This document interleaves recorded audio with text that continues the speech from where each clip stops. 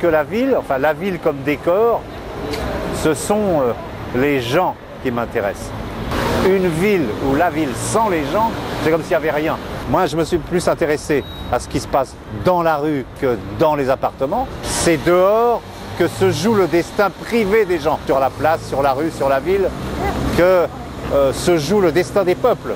Disons que le privé, ce serait comme l'inconscient, et la rue, ce serait comme euh, ce qui est le réel et le conscient.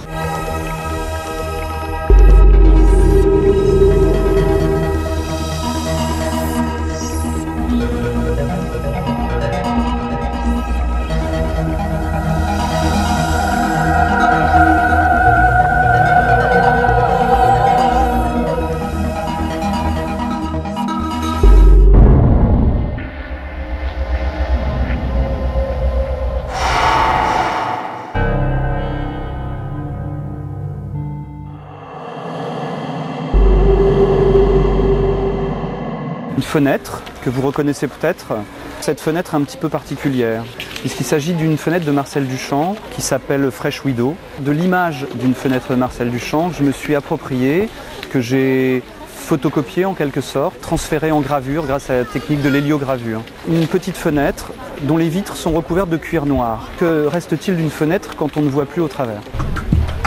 Peut-être vous parle-t-il de ma façon de travailler.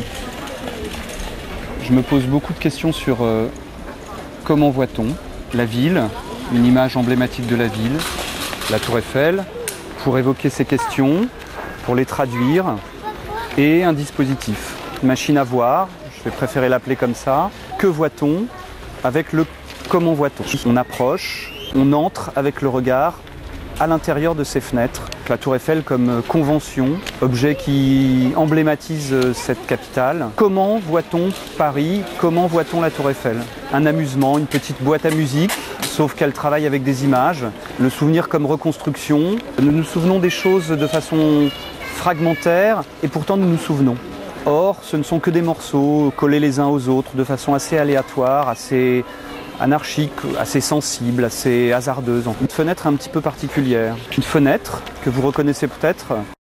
Un soir où je rentrais et, il pleuvait. Et puis tout d'un coup, je regardais le sol. On- C'est vrai qu'on regarde toujours ses pieds. Les gens sont toujours tristes, ils regardent leurs pieds. Et j'ai vu ce, sol euh, brillant avec ces, ces espèces d'étoiles. Et je me suis dit, tiens, je me suis dit, euh, voilà, je dis, il y a un travail sur la ville. Je me suis dit, ça pourrait être ça. Constellation de Balgam. Mon travail euh, est beaucoup axé sur l'écriture, hein, sur le rapport de la photographie avec euh, la définition qui la constitue, qui est écriture de lumière. Pour moi, ce chewing-gum, euh, c'est un peu comme une espèce de, mot mâché qu'on crache hein, et qui se retrouve sur le sol et qui finit par créer une espèce d'univers. Là où les gens habituellement voient de la, saleté, enfin le, le, là en fait, ce qu'ils voient, c'est un sol constellé. Je fais souvent des rêves où je rêve que je mâche du chewing-gum et en fait, dans mon rêve, j'essaye de l'enlever, de l'enlever, de l'enlever, mais il y en a toujours un nouveau qui apparaît. Et les artistes, en fait, représentent la ville, les murs, mais il n'y a plus de vie. Enfin, c'est quelque chose. euh, Alors, est-ce que c'est représentatif de notre société? Euh, Est-ce que ça signifie que finalement la ville reste, mais l'âme est partie? Enfin, Moi, c'est le sentiment que j'ai. J'ai l'impression que les artistes sont très attachés à l'architecture, à la forme, et pas, euh, en fait, le, le- contenu, tout ce qui est imperceptible est, est caché derrière. On ne le voit pas. Donc, c'est un peu ce que je ressens. Et moi-même, d'ailleurs, mes travaux aussi, c'est pareil. Quoi. Il y a, finalement, le corps est pas présent. Quoi. Il est, enfin, est-ce qu'il est latent? Ça, je sais pas, mais il n'est pas présent.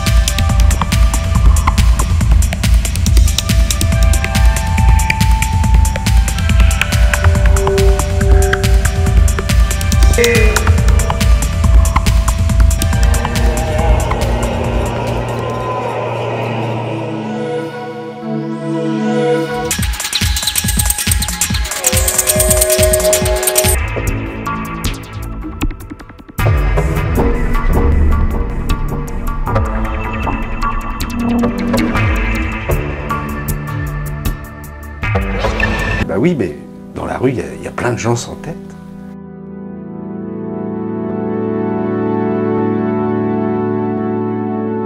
Ce sont des personnes, ce sont des gens qui déambulent comme ça dans l'espace peinture. Les lignes du corps disparaissent dans le fond de la toile. Ce ne sont plus que des lignes qui se font bouffer un peu par la peinture. Bah, dans, les, dans, les, toiles suivantes, euh, ça disparaît totalement. Art maigre, très maigre même. On n'est pas bien loin des 0% de matière grasse. 1. Pas de modèle. Moi et quelques objets de mon environnement, c'est tout. 2. Pas d'appareil photo. Juste mon dernier téléphone portable. 3. Pas de lumière ou presque. De toute manière, je suis photophobe. 4. Pas de travail non plus. C'est mon imprimante qui crache les tirages pendant que je tourne mon petit café du matin. À l'arrivée, j'obtiens des photos un peu bizarres, à l'extrême frontière entre vivant et inanimé. Le support d'impression ajoute de la vie de manière surprenante, surtout le papier de verre. Il apporte une texture veloutée, pas loin du grain de la peau. Mes photos sont tellement simples, juste du noir opposé à une autre couleur, que l'idée du pochoir m'a vite titillé. Le macadam est une matière aussi magique que le papier de verre. Il réagit superbement à la craie. L'interaction des deux est d'une sensualité étonnante. Un pochoir à la craie est plus respectueux de la loi et de l'environnement que celui exécuté avec une bombe. Il y a évidemment un petit revers à la médaille. Mes pochoirs sont tellement biodégradables que les passants n'ont que quelques heures pour les voir.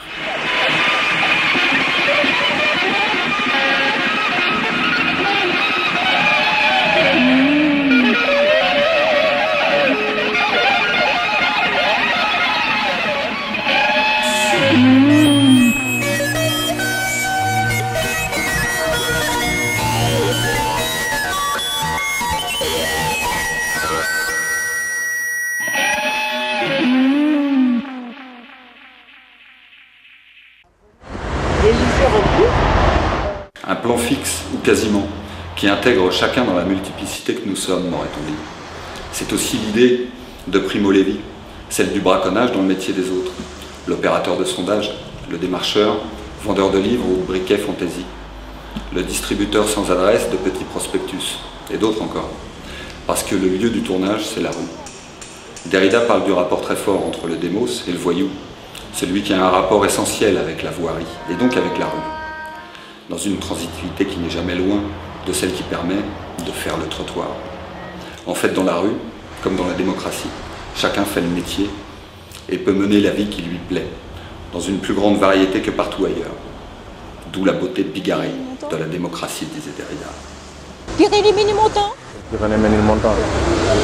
Élise Reclus. C'est Élysée Reclus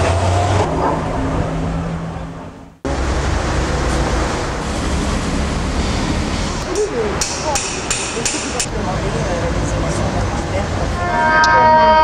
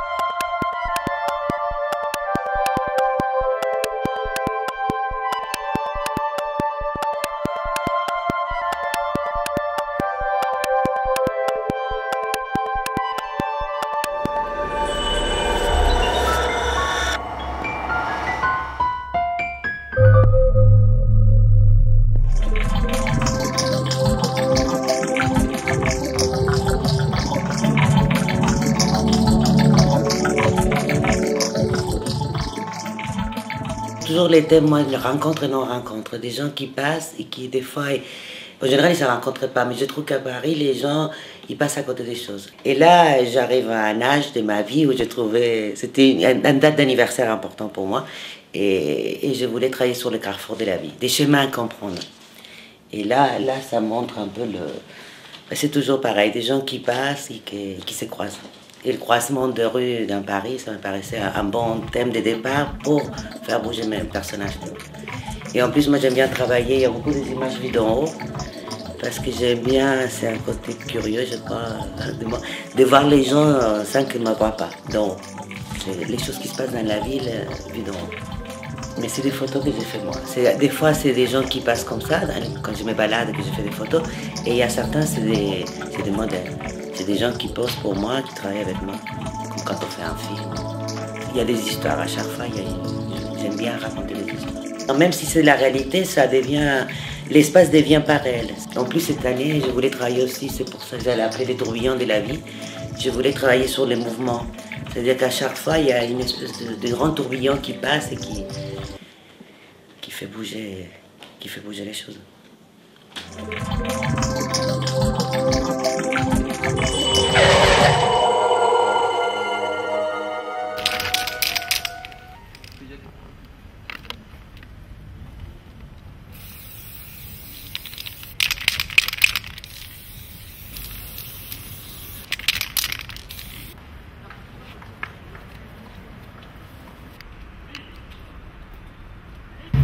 C'était un petit peu.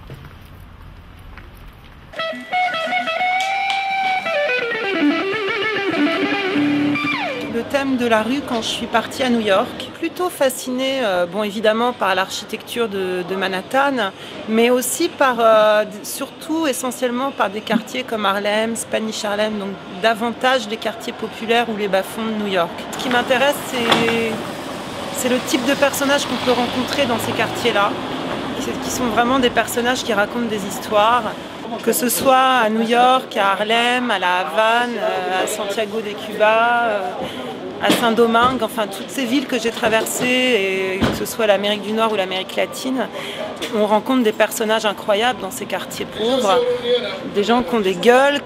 Et, moi je fais des portraits de rue finalement, hein. ce sont des des gens qui sont marqués par la vie. C'est plutôt, c'est plutôt ça qui m'intéresse. C'est aussi un hommage à ces gens. Paris ne m'intéresse pas du tout. Moi, ce qui m'intéresse, c'est d'aller prendre des photos dans d'autres villes et dans d'autres pays et de voyager. Le sujet, c'est aussi le voyage. Et c'est les rues des grandes villes que je traverse. Donc je prends énormément de photos, je mitraille, je mitraille, je mitraille. Et je prends en photo des gens que je ne connais absolument pas. Et ce sont, ça devient des portraits d'inconnus. Donc ces gens, euh, parfois je leur demande de l'autorisation, parfois ce sont des photos volées, ça dépend.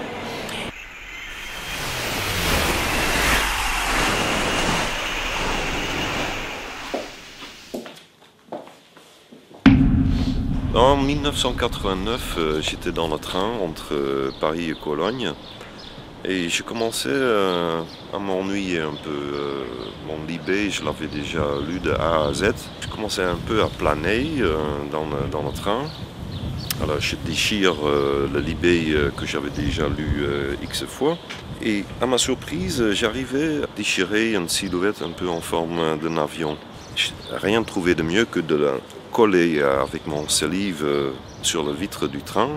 Et je commençais à photographier la vague silhouette d'un avion euh, sur la vitre du train.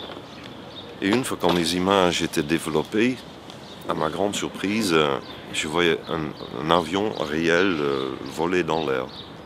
Je me disais, tiens, ça c'est vraiment quelque chose à exploiter.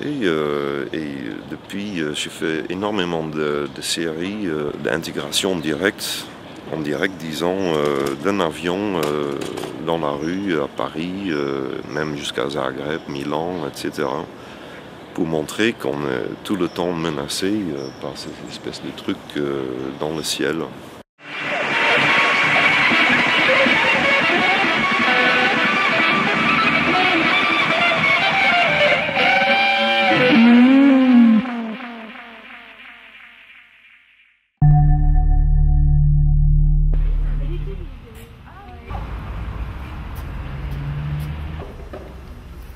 I like Europa and Europa likes me. Les énergies profondes ont été reconnues par les bêtes sauvages.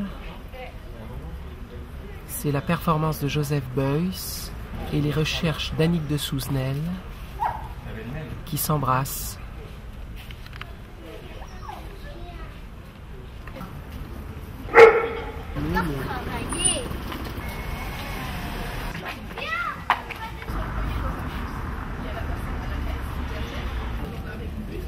L'éternel présent, la connaissance des choses dernières, le caducée frémit et reçoit la langue de feu. Ah, vous entendez les bêtes sauvages? L'image en soi est-elle verticale? L'image en soi, sans périmètre qui l'enferme Peut-être le manteau de complétude des douze Olympies? Oui, il y a du courrier ce matin le caducée de la connaissance des choses dernières. C'est Max Jacob qui se réjouit. Traverser le burlesque pour atteindre les égarements existentiels. Happening ou cabaret? Happening. 12 étoiles.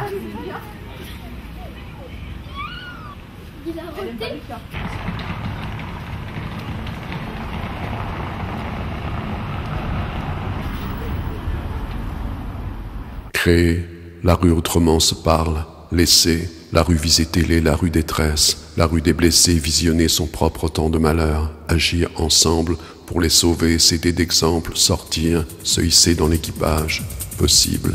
Télescoper le temps des gens, acte manqué, laisser passer, cœur battant, il est encore temps.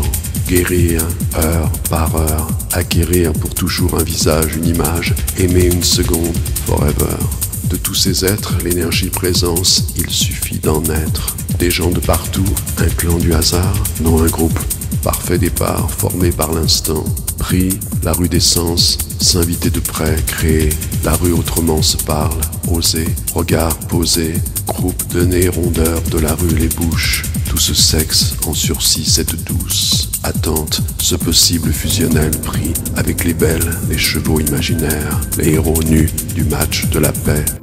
Les êtres grandissent ensemble, sans se voir, sans du corps de la rue, sans qu'ils ne s'assemblent, sans but de parole, sans se voir, sans se voir, sans se voir. Les êtres grandissent dehors, les anges de la rue autrement s'échangent de possibles contacts dans la rue autrement des actes, des actes, des actes. Les êtres grandissent ensemble